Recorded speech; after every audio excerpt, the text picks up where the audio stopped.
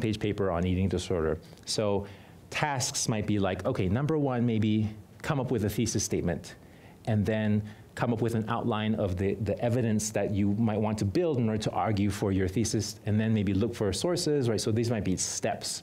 And then as, as criteria, you might actually give uh, annotated examples of papers from the past, and not just ones that have like check minus, check minus, plus, you know, like not like that, but actually maybe marginal comments that said things like, oh, this is a really great example of where you use the evidence in a really distinctive way and blah, blah, blah, and I like that a lot. So those are things that you can do. Now, taking it back to a math example, so I find this work about transparency is really most helpful whenever you do things like projects in the class, like making a poster, giving a presentation those larger tasks are often places where those expectations become unclear to students. And what you know in your mind of what you want as a final product is not quite exactly what students give you at the end. And so those are places where you might want to be careful about separating the lists of tasks to perform and then criteria for what good work like looks like for that particular assignment. Thank you, Melissa. Did you have a thought, question, comment?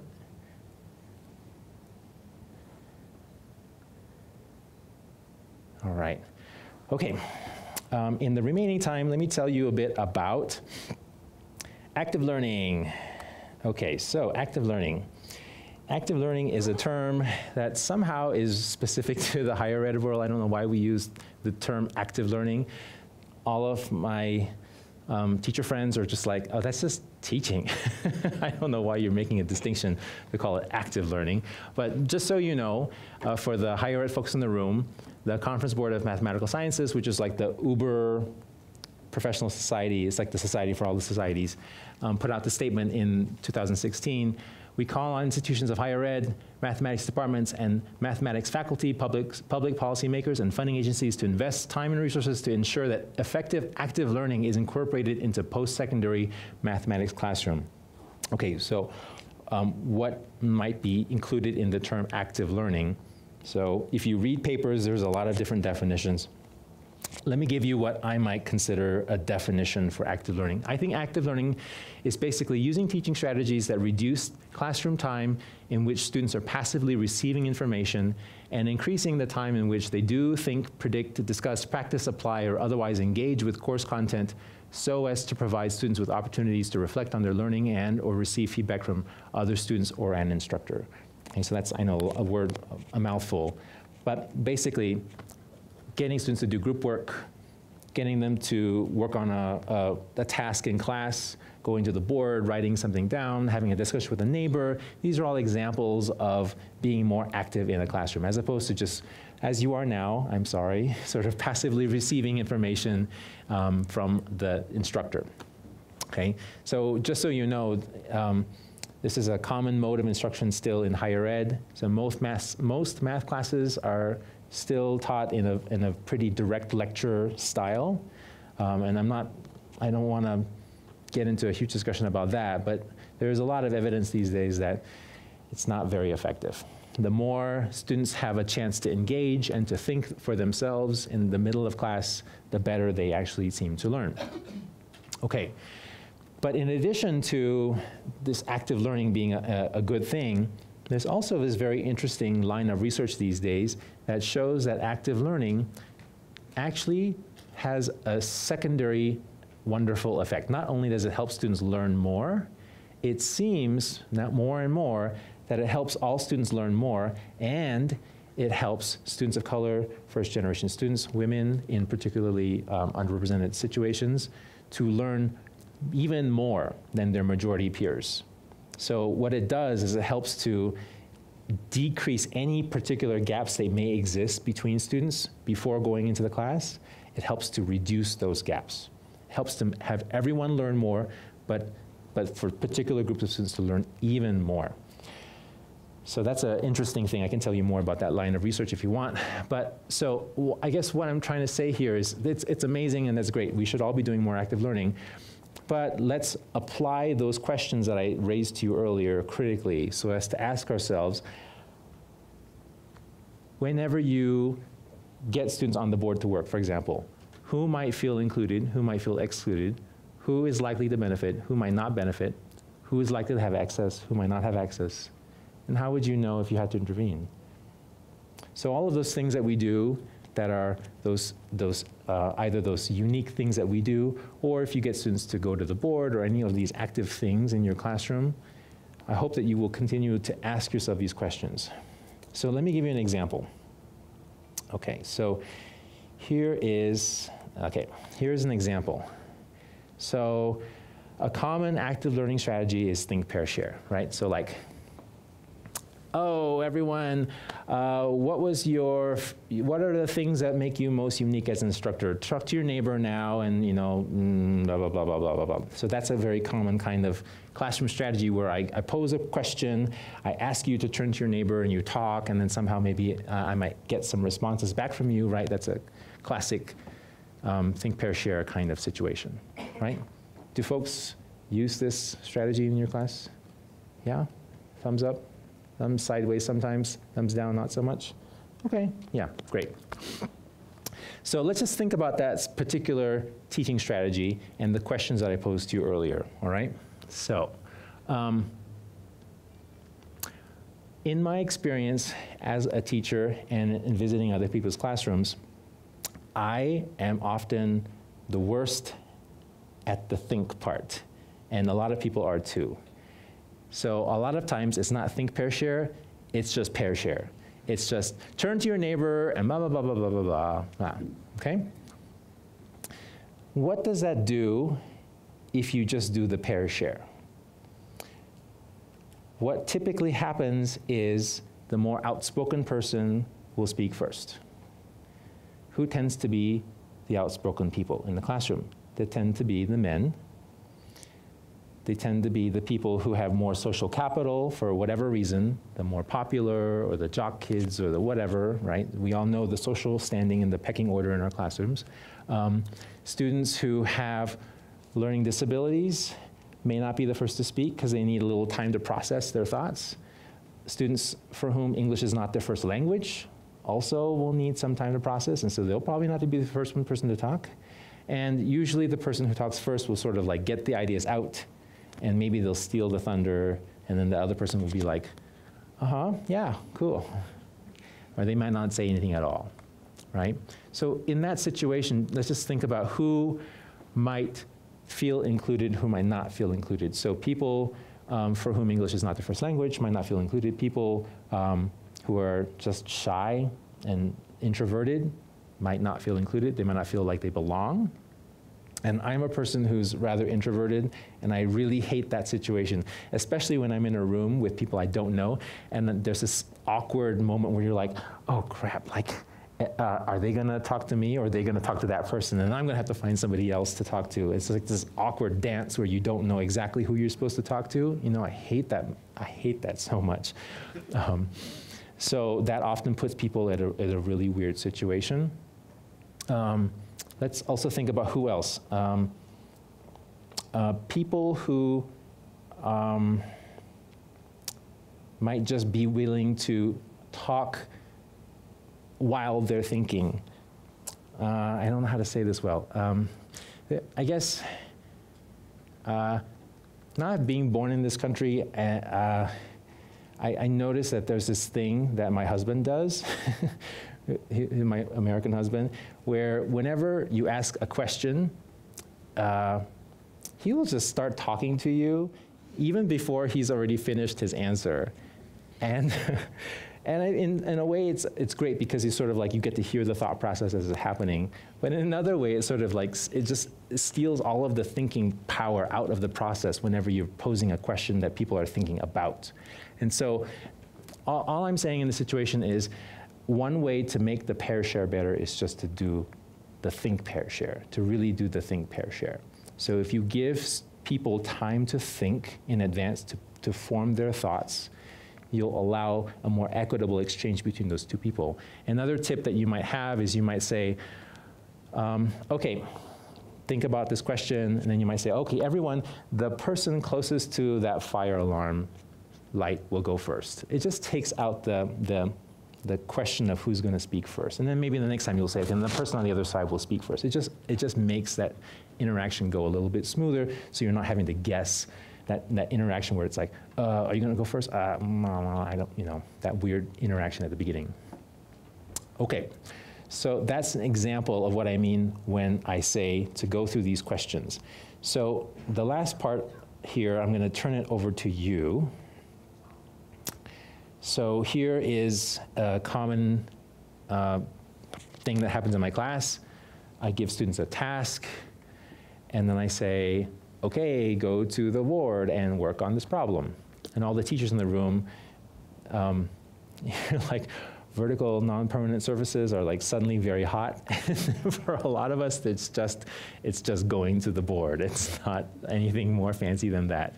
But whatever you call it, going to the board or vertical non-permanent surfaces, okay, um, you do this thing. I bet a lot of you do, okay? And so in the context of your classroom, let's say you do this particular thing, um, who do you think might feel included or excluded? Who's likely to benefit? Who might not? Who is likely to have access? Who might not? And how would you need to know to intervene? The fourth one is actually the most important to me that I'm hoping to focus on right now. Okay, so I'm going to do the good thing. I'm going to give you 45 seconds to think about this and then I'm going to ask you to talk with people around you. But first, silent think time.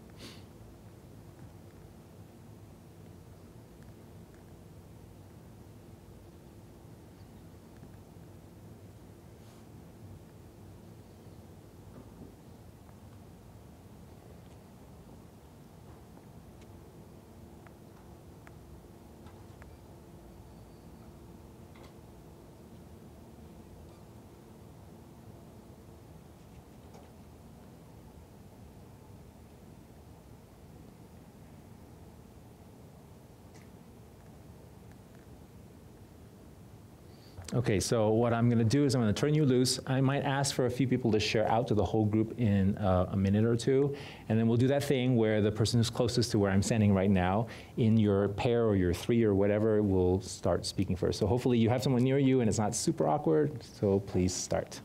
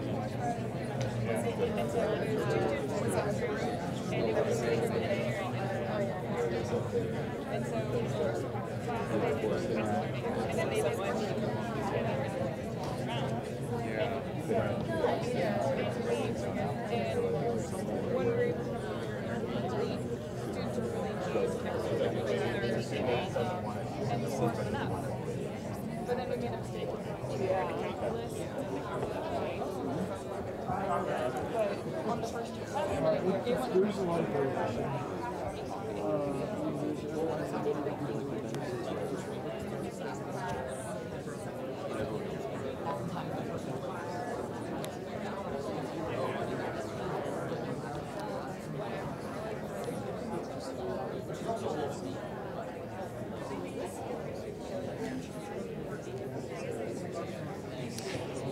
If the other person hasn't talked yet, let them talk too.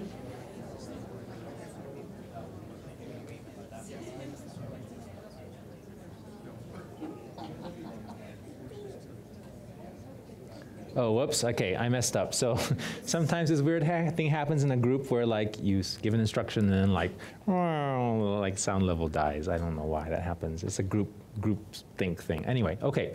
So I'm sorry cutting off your discussion maybe prematurely, but maybe you all have some thoughts already to share. So maybe could I get uh, five different people to give their thoughts to who you think might feel included to benefit or to have access and who might not. So, any thoughts about that? Okay, I have one, two in the back. Is that Melvin? Okay. Three, Betty. Four, thank you. One more person, maybe from this side? Okay, five. Okay, great. Let's start with you. Go ahead. You have to speak pretty loud. Sure. One that is often not thought about is lefties have a really hard time writing on erasable surfaces because their erases what they've just written. Thank you. Yeah, thank you for. I didn't think of that. Awesome. Go ahead, Melvin. You know, I think her example is kind of a counterexample to my thought. Okay. But um, I, I thought, you know, the question of who's likely to be excluded and, um, or included is a tough one because uh, in some cases we shouldn't think of our students in terms of transcendental qualities. Um, it, it depends on the, the context in which they were included with later. Mhm. For example, if it's two boys, one girl, in that case it might be a girl. If it's two boys, two girls, one boy, in that case it might be a boy. Mhm. So this question of who's centered and decentered is an easy part Mm-hmm. for people to challenge. Yeah. Except if you're left-handed, I guess, you know, that doesn't.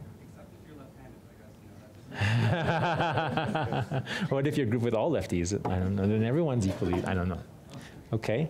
There was a. Th- I think Betty was next. I was just kind of thinking similar things where I wasn't thinking about it in terms of left-handed, but um, whoever feels confident enough to write on the board, I have really pretty handwriting, and it's like I'm gonna write on this board like all these things. Um, so that's what. Mm-hmm. Mm-hmm. Okay. Go ahead. Next. Um, Well, I was just thinking about my own experiences with vertical non-permanent surfaces. I- The person who usually benefits the most is the scribe, the person who's actually like listening to what other people are saying and writing it down, synthesizing it on the board. Um, But like, the, and and then people who usually don't benefit, I feel like the, the effectiveness of those boards like starts going down once there's like a group of like three or four or five, just like when there's more people. Because at that point, it almost becomes a conversation between one person who's saying everything and the other, and then another person who's writing down everything. Yeah. There's three other people that are just kind of staying there awkwardly, not knowing how to contribute. Yeah. Okay. Great. Okay, um, so I think one of the issues that you can have with these kind of writing things and kind of anything that involves putting up language board is if it's not your first language or like you've been introduced to a language uh, later on that you're expected to perform at, it's difficult to have the initiative to go up and, and like take the marker and actually write things down if you're not comfortable with that. Right. So just in case you couldn't hear, just to summarize briefly, it's as if if you're if English was not your first language, you feel less likely to be the first person to go up and start writing on the board. Okay. Yeah, these are all great great answers. I love the, the comment that you made. It almost is getting at the fourth question. How might you know if you had to intervene if you see one student doing all the writing, one person doing all the talking, and the other people just sitting there like this? That might be a way to know based on body language. That's a very easy way to know. Um, I, th- I thought about that a lot when I was looking at for pictures. I didn't know whether this particular picture would give anything away. Um, but one thing that I noticed from this picture is I only see one person's handwriting on the board. Um, and that might be something that you could include in, in just the natural process of things. You might say, oh, I want to see at least three different people's handwriting on the board. Like if there are three people in your group, I want to see everybody's handwriting. Or it could be everyone has a different marker. I want to see all the different color of markers on the wall when you're done. that could be just the simple way to rotate around the scribe. Another thing I do in my class is I say, the person who's got the pen has to be silent. They can't say a word. So it sort of encourages the thing you were saying, like the person who's scribing is getting the most of the benefit. They're the ones who are listening and synthesizing, and then they rotate that, that role so everyone gets a chance to do that thing. Um, I, s- I think I saw a hand back there. No, I was gonna say what you said about the different colors. The different colors. Uh huh. Yeah. Also, you can question them when you go up, you can ask different people questions about what they're doing together. Uh huh. Uh huh. Yeah. I something to add about feeling included or excluded. Yeah. Um, those who have been taught that it's okay to fail will feel more included than those who haven't. Yeah, great, great question. Right, great. Sorry, great point. Yeah, those who've been taught to fail, that failing is a natural part of learning, are going to feel be more uh, willing to go up on the board and just put their ideas out there in front of everyone else. Yeah, and just recognizing that that the stakes are higher for people for different people. For some people who feel in the numerical major- minority in a group, they're going to have a harder time feeling that that bravery necessary to go up in the board and put their ideas out there. Right. Cool. Any other thoughts? Okay, what about ways, uh, how you would know if you had to intervene? Other things that you would think about, about how you would know if something's not going quite right?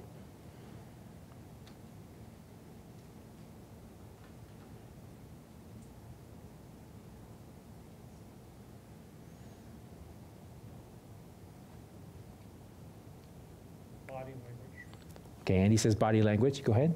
um, if you go up to the group and several people can't explain what's going on. Yes. Going up to a group and if several people can't explain what's going on, yeah, that's often a sign of trouble. hmm If only a couple people are interacting and participating with each other and not the whole group. Yes, that's right. If a couple of people interacting with the group. Yeah, go ahead, please. A way that you can get a read on probably the room is just a decibel check, and so if you don't hear very much talking, you can tell from the center of the room that perhaps you need to pose the problem or, or do something. Mm-hmm. Right. So just even the, the amount of noise that you hear can tell you a lot. Yeah, these are all great answers. Thank you. So I hope you can see that this is not uh, a super complicated question. You are able to think of the answers very readily. But what I'm trying to ask us all to do is to go through these, this process of asking ourselves these questions every time we do something in our classrooms because when you do that, you develop the practice of being able to identify when there might be issues that you were unaware of. And then, in the process of thinking this way, over time, your classroom becomes more and more equitable. Um, so I think I'll leave it at that. And then, if you have any questions or comments, I think we are out of time, so maybe we can just um, have a discussion afterwards. Thank you.